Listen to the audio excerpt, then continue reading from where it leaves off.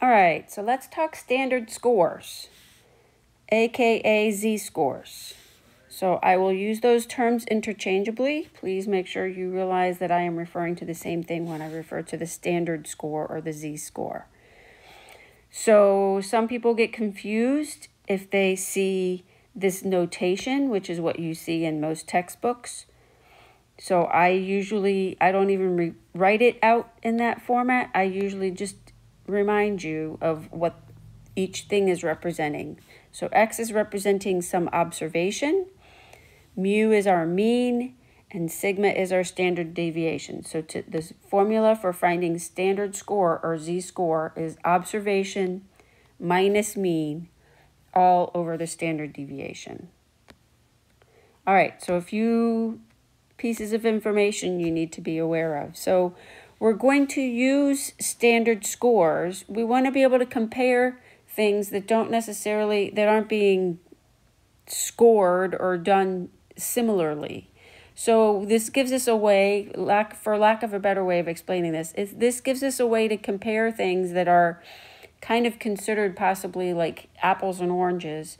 We standardize these scores so that we can make those comparisons. And the best example that I can think of to give you is if we were to compare, if you were to take the ACT and also the SAT, then you can determine what your standardized score is for each of those. In other words, where your score lies in relation to the mean, how many standard deviations above or below the mean your score is. And so then you can make a comparison to decide did you score better and do better on the ACT or the SAT? Okay? Um, you'll see a few examples of how this is used here shortly. The other thing to realize is that you can use standard scores in place of using the empirical rule.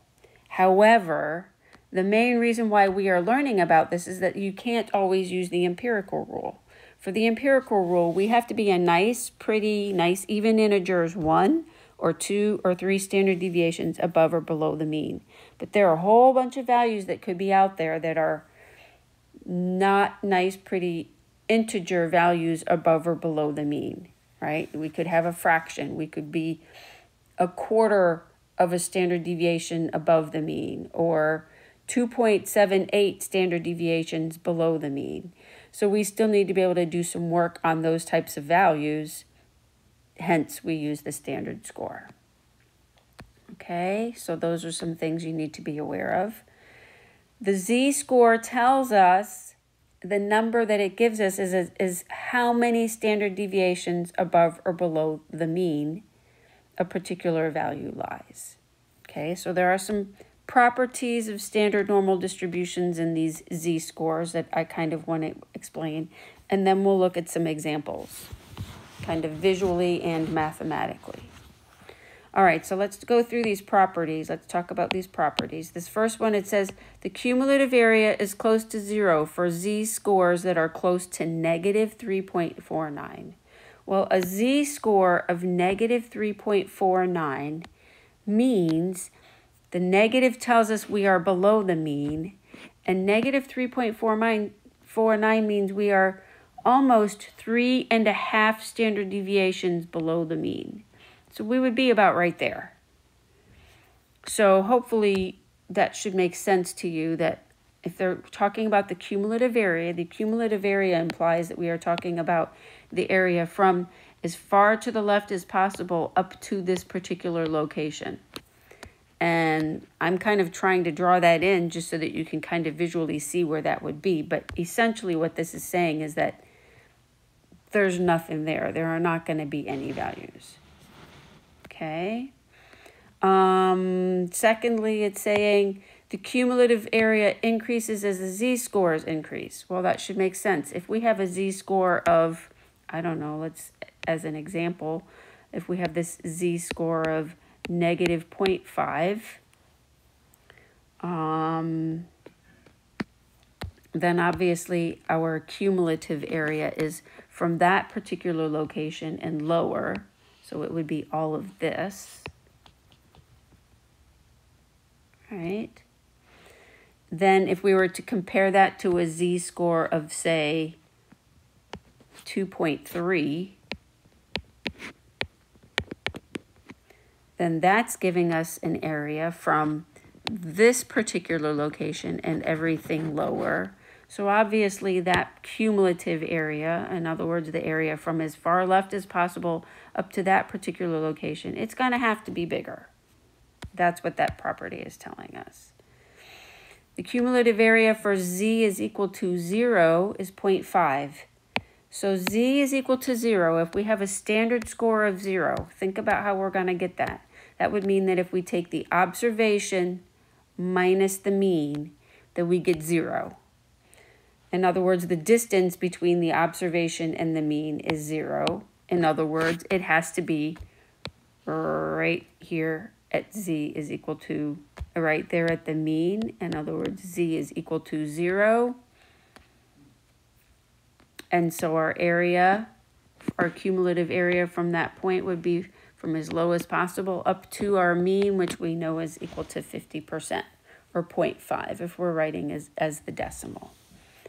And then it's also telling us lastly here, cumulative area is close to 1 for z-scores that are close to 3.49. So guys, that's saying we are way up here, right? And if we were to find the cumulative area of all of this, and I'm trying to color over other colors, so it's not working very well, but I think you get the general idea. I'm shading in all of this. The area is going to be close to what we know the full area of any density curve is going to be, and it's going to be equal to 1. All right, let's look at some examples of how we actually plug into this formula. And then we'll talk about what the z-scores, how we use the table, and look at some other visuals of this. All right, we know by the notation here that in these particular examples, it's saying the mean is 100, our standard deviation is 6. So then it's saying find what the standard score would be for a student who gets a 95. So 95 is our observation, right? And we want to figure out what's the z-score or the standard score. Where does that lie in comparison to this mean and standard deviation? So to find our z-score, we're doing 95, which is our observation, minus 100 all over our standard deviation. And so we get, we actually want to write these always as a decimal, and we want to go two places for that decimal, always. Always two places, and we round. So in this particular case, we find that z is equal to negative 0.83. Visually, I want you to think about what that's saying. What that's telling us is that this score of 95, we can't use the empirical rule to figure this out. That z-score of negative 0.83 means we are at this particular location about right there. Now, it's not asking for any prop, uh, percentages or proportions. It was just asking for the z-score. So we're going to look at a few examples of that type, and then we will move on and do a couple other examples.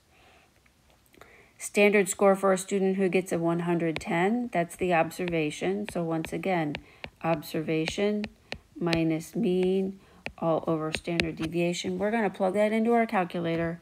And in this case, we find that that's at 1.67. So that means it's positive. It's going to be to the right of our mean. So it is 1 and 2 thirds standard deviations above the mean. So that's pretty darn good score, right? And then next, a score of 90. For our z-score, we would do 90 minus our 100 all over 6, and we get our z-score. In this case, it's negative 1.67. And lastly here, if we get a score of 115 minus 100 all over 6, we get a z-score of 2.5. We know that would be considered unusual because it's beyond two standard deviations from the mean in either direction. Okay, all right, onward. That's one basic type of problem. The next type of problem that you're going to see is we're going to work backwards. So it's saying find the actual score. In other words, we're going to find our observation and they give us the standard score. So remember our formula says z is equal to observation minus mean all over standard deviation. So in this particular case, we know the z-score, we know one, negative 1.35 is equal to, what we don't know is what the actual score or the observation is. But we know we want our mean to be 100 all over 6. So think mathematically of what we would do to solve that. It means we're going to have to multiply both sides by 6.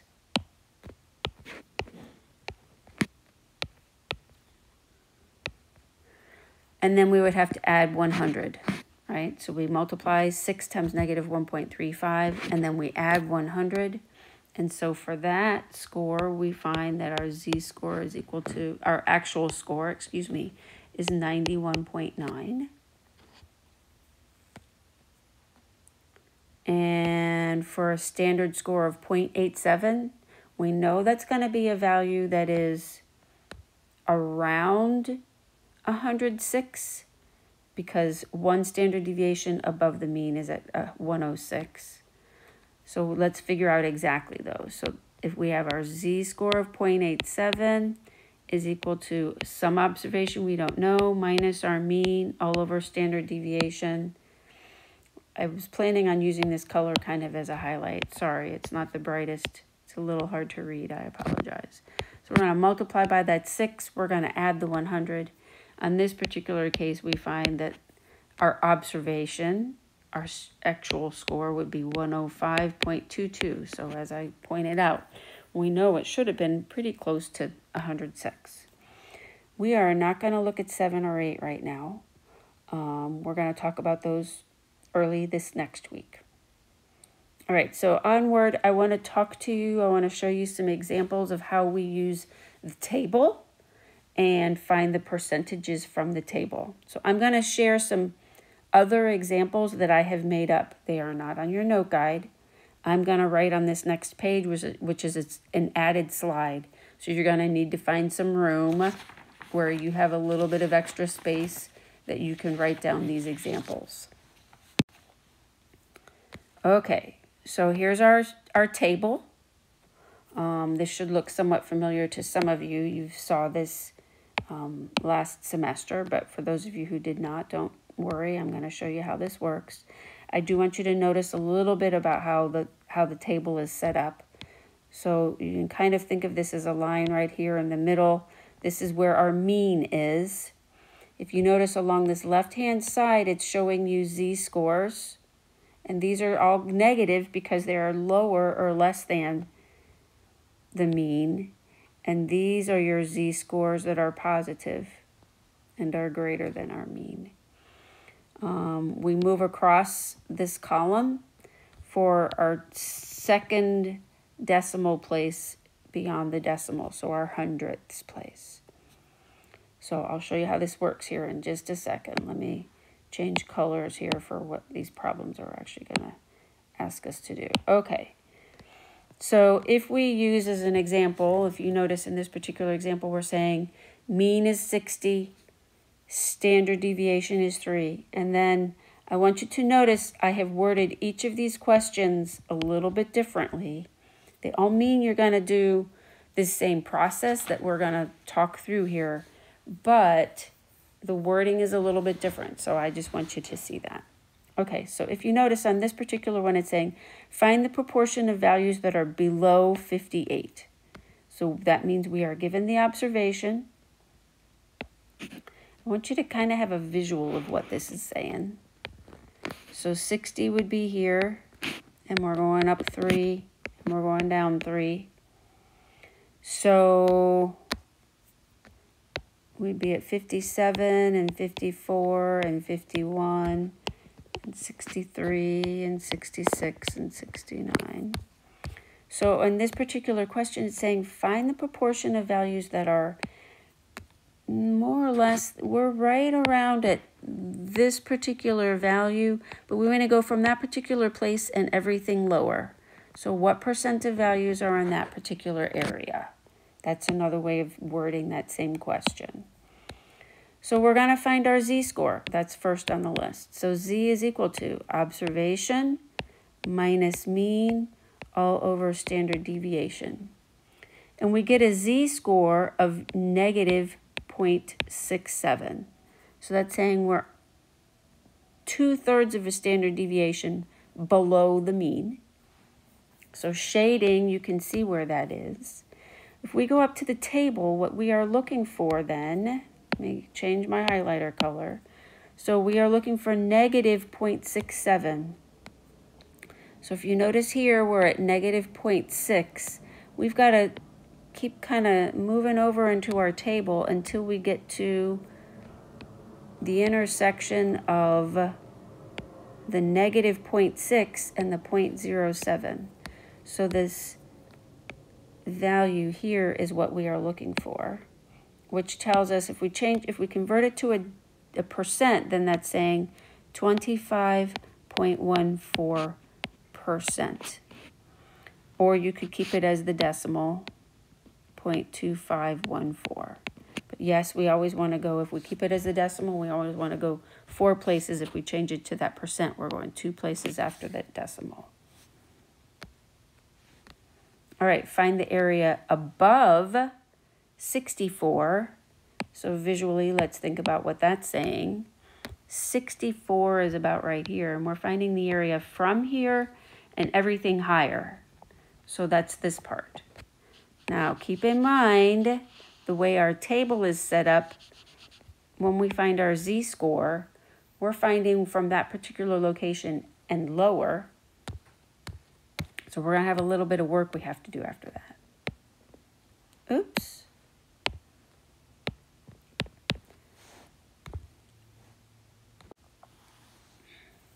All right. So observation minus mean all over standard deviation.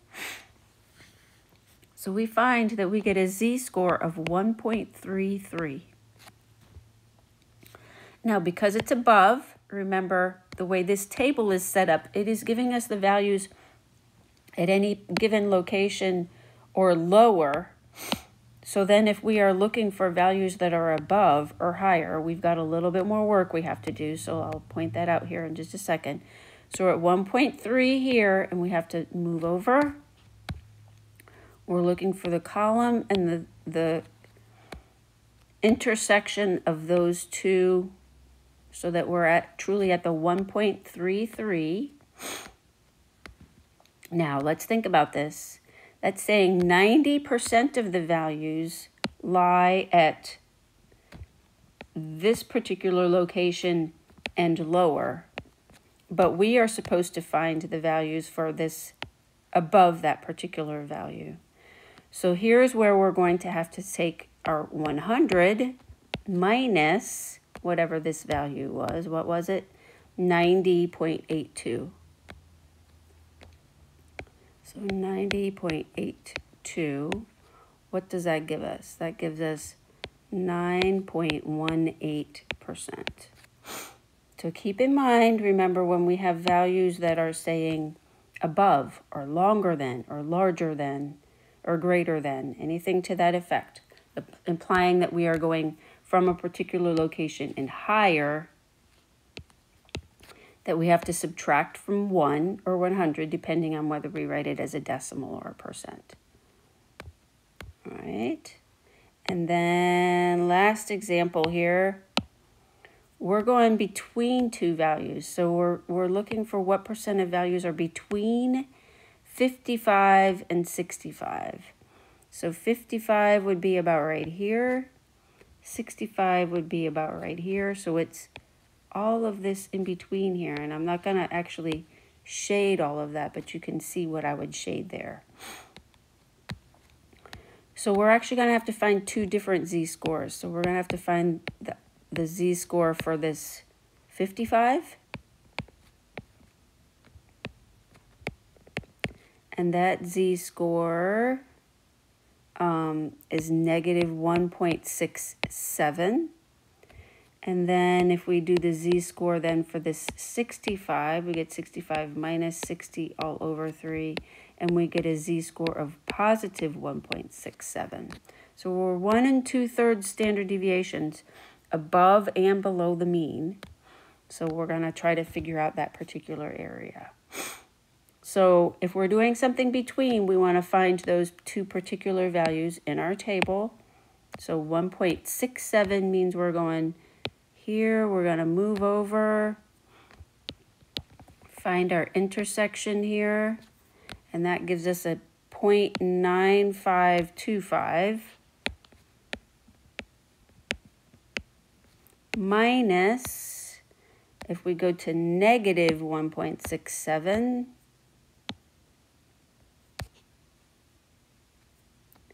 we're at 0.0475, so we want to subtract that. So minus 0.0475.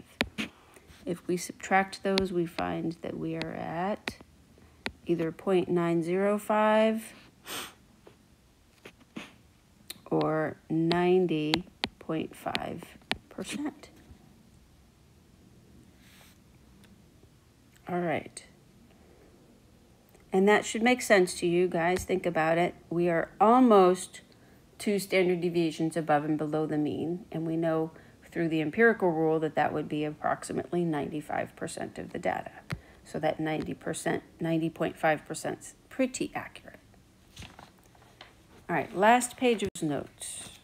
We're going to look at just a couple of these examples. I've kind of put some marks in there just to kind of help you. Once again, I'm kind of showing you a little bit different notation to help you with these. Um, and it's just to give you a little bit more practice with the table.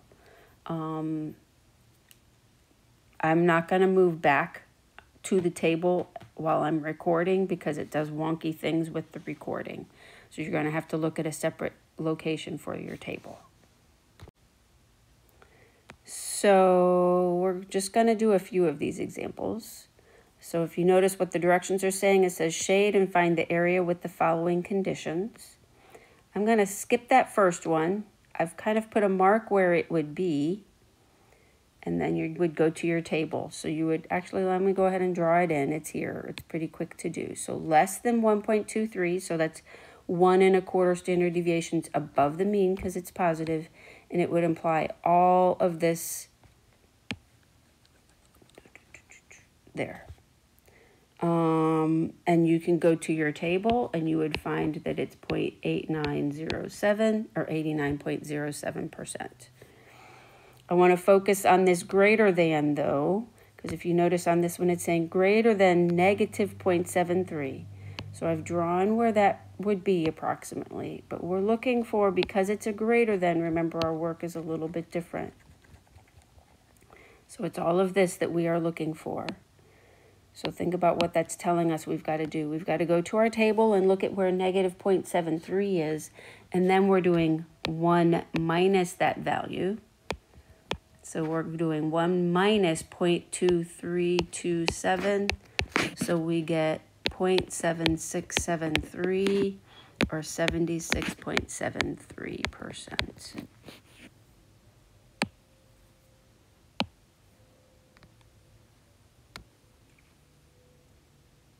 And then that last one looks kind of familiar, doesn't it? It's similar to what we had already done. So let's do this one.